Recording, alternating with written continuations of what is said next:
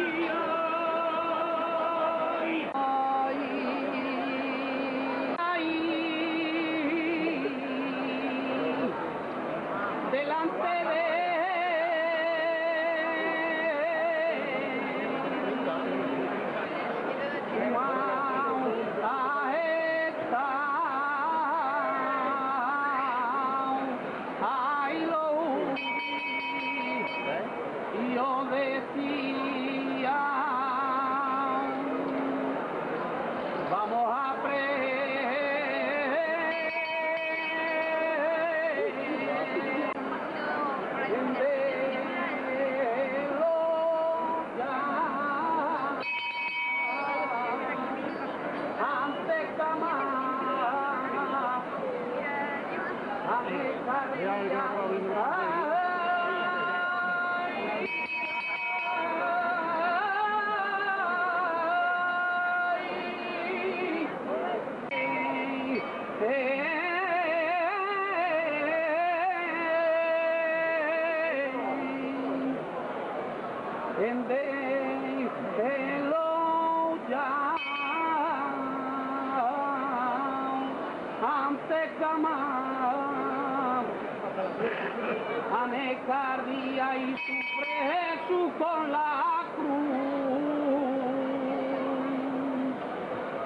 sangra sus sienes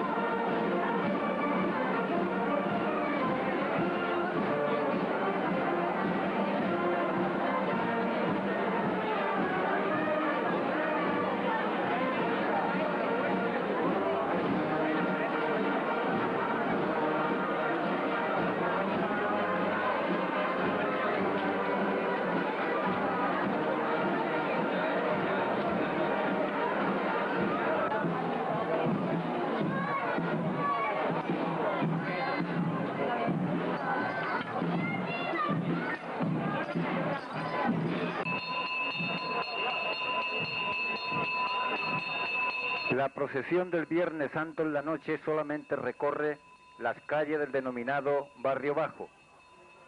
Desde la centenaria ermita del Dulce Nombre, en el embrujado barrio de la isla salen las cuatro cofradías.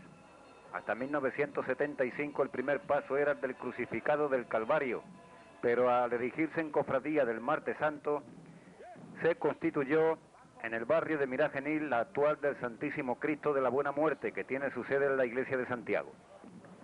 Es este el paso que abre los desfiles de esta noche. Se trata de una talla del escultor cordobés Juan Martínez Cerrillo. El paso, muy austero, de líneas clásicas, se alumbra con cuatro hachones de madera y blandones de roja cera. Una de las notas más características y singulares la constituye la presencia de las figuras de la muerte y el demonio, encadenados y escoltados por unos encapuchados vestidos de negro que tocan incansablemente unas resonantes cajas destempladas. Son los populares picoruchos pertenecientes a la Corporación de los Apóstoles.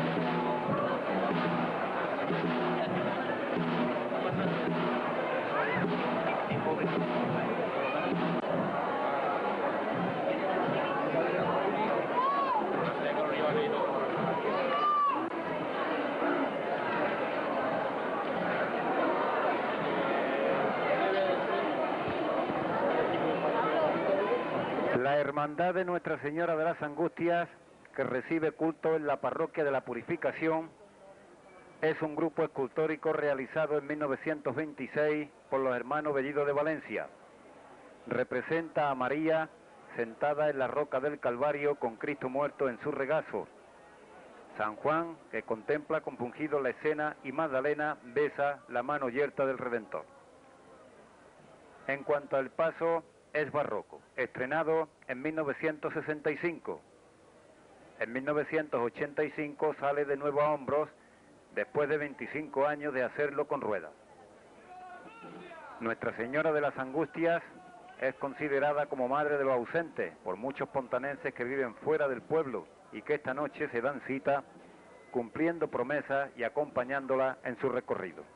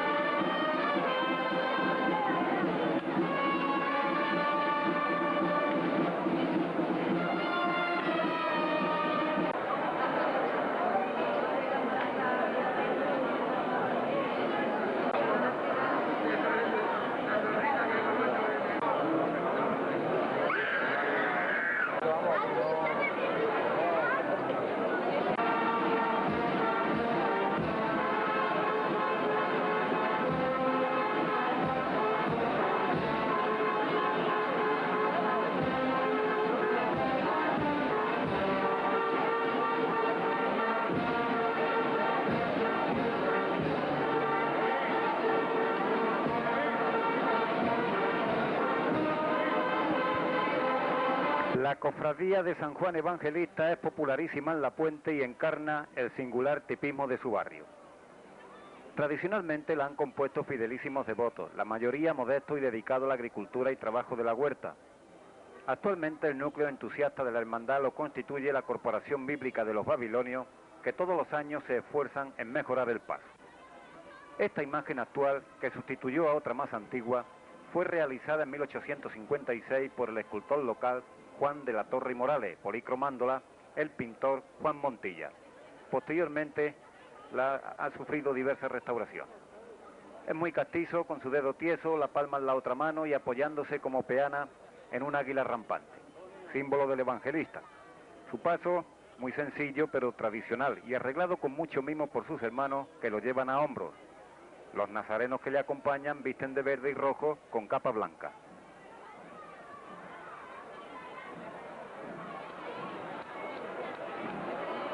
Y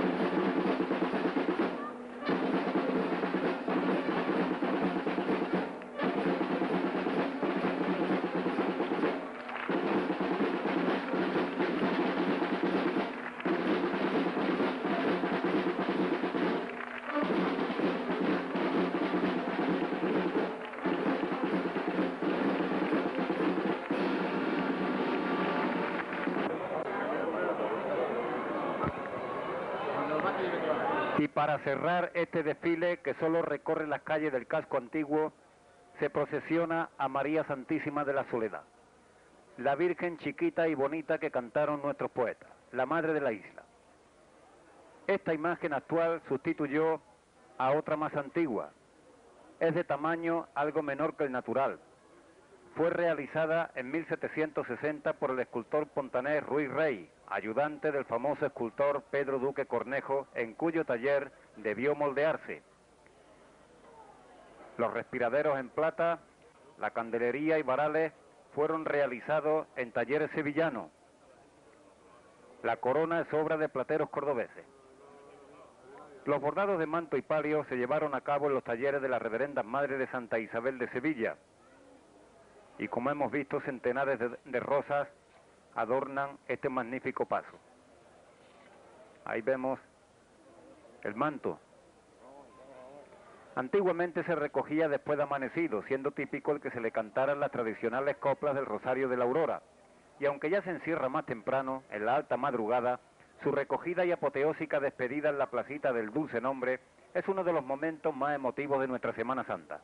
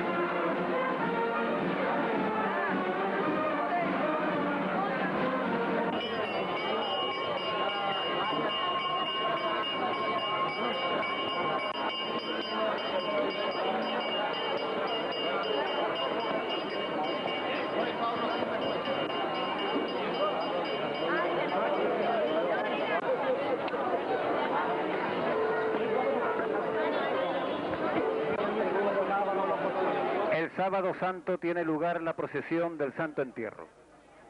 Esta procesión surgió en 1960, pues hasta 1959 la cofradía hacía estación de penitencia tan solo con el paso de Cristo en la noche del Viernes Santo. Sin embargo, sus orígenes antiquísimos se remontan a los primeros años del siglo XVI. La imagen del Cristo yacente está documentada su llegada a Puente Genil en 1622. Su profundo realismo y detallado estudio anatómico revela que fue tallada por un artista de primerísima fila. Su estilo es barroco, tal vez de escuela granadina, cercano al círculo del propio imaginero que realizara la de Jesús Nazareno, a cuya factura se aproxima. La original urna de madera tallada fue estrenada a finales del siglo pasado. Es rematada por el popular pelícano, símbolo de la redención. Fue restaurada en 1988, dorándose en oro fino por el artista de priego Cristóbal Cubero, que lo enriqueció con un moldurón tallado del mismo estilo.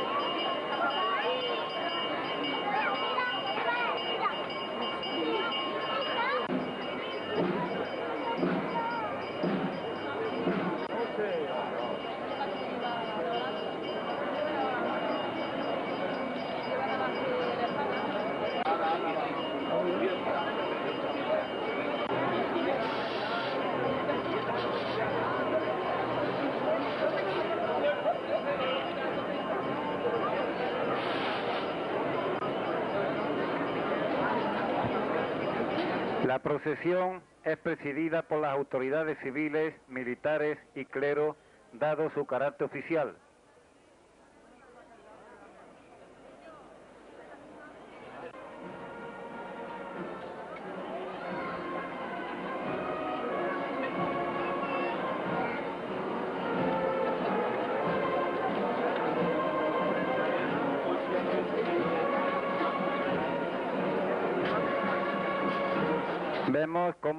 Coraceros romanos de la Judea custodian el paso del sepulcro.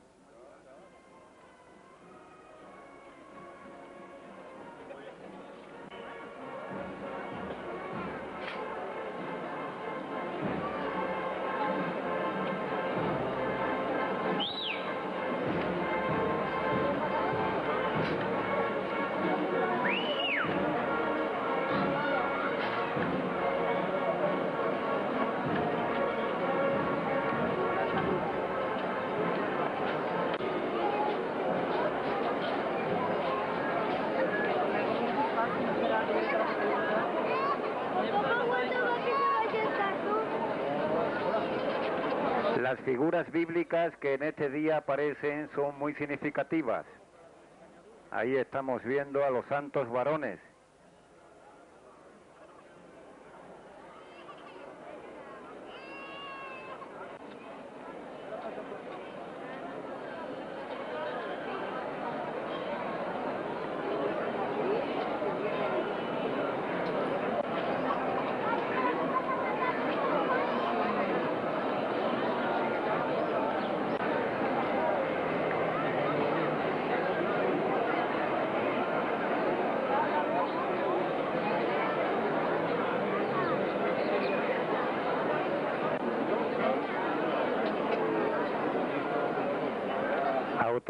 Civiles y militares, como hemos dicho. Aquí tenemos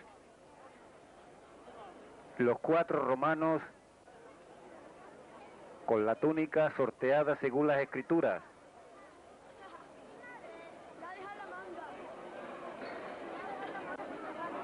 Conjunto muy popular en esta Semana Santa.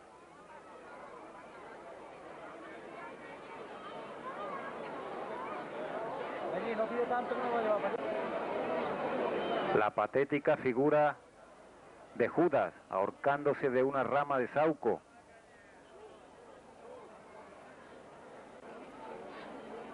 Ahí vemos a Pedro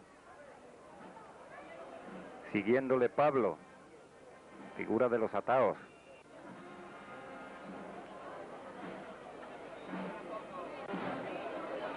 Los evangelistas certificando la muerte del Redentor.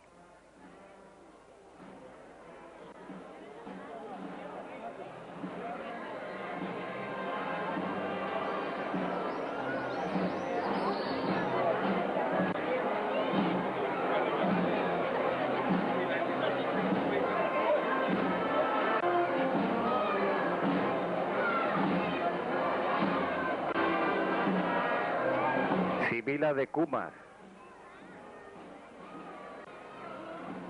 Las virtudes cardinales.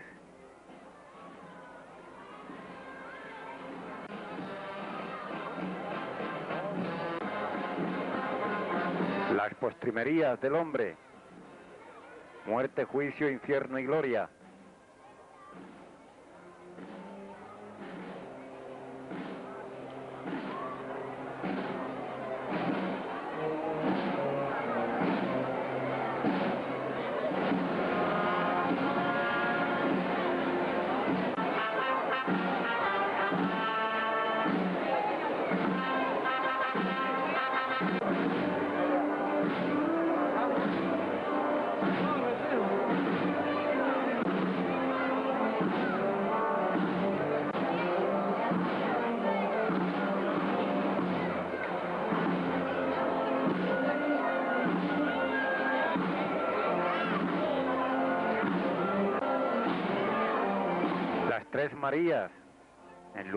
por la muerte de Cristo.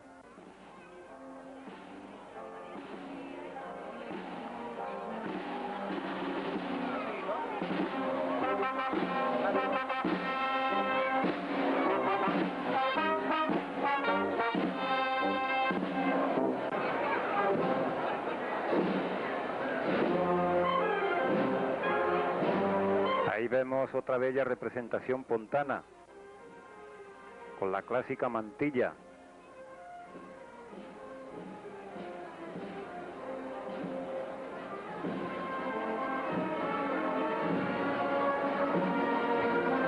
Desde 1963, y para dar mayor esplendor a la cofradía, el cofrade José Estepa Moyano donó la dolorosa de Nuestra Señora de las Lágrimas, esculpida por el imaginero sevillano Pineda Calderón.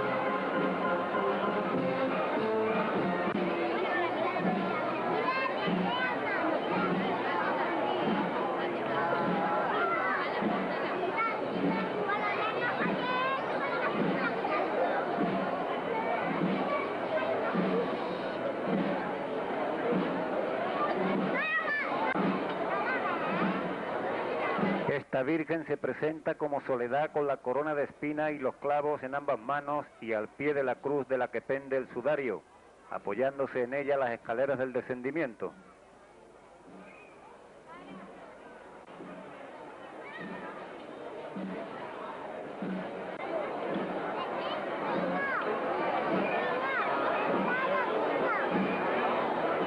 La procesión va a discurrir lenta y majestuosa hasta recogerse al filo de la medianoche en la ermita del Dulce Nombre.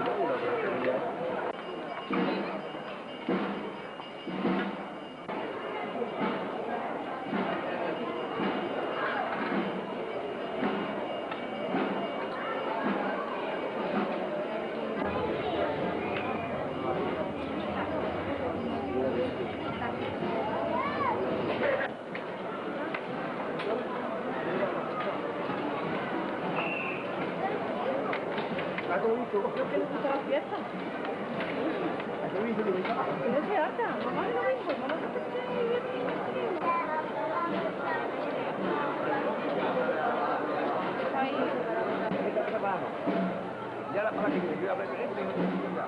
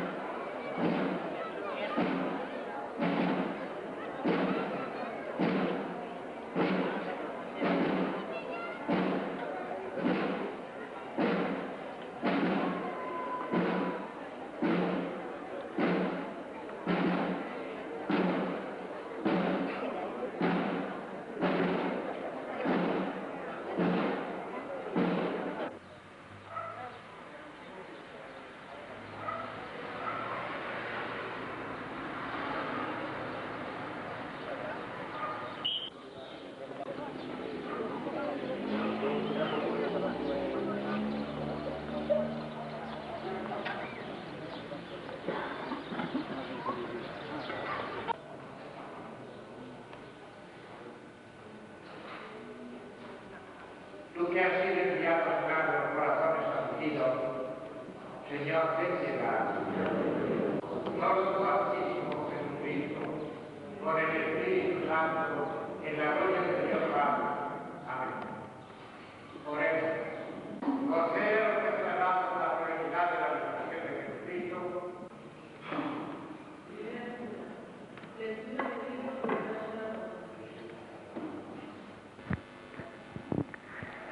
alejada parroquia de Nuestra Señora del Carmen, junto a la estación de ferrocarril, los hermanos de la cofradía de nuestro Padre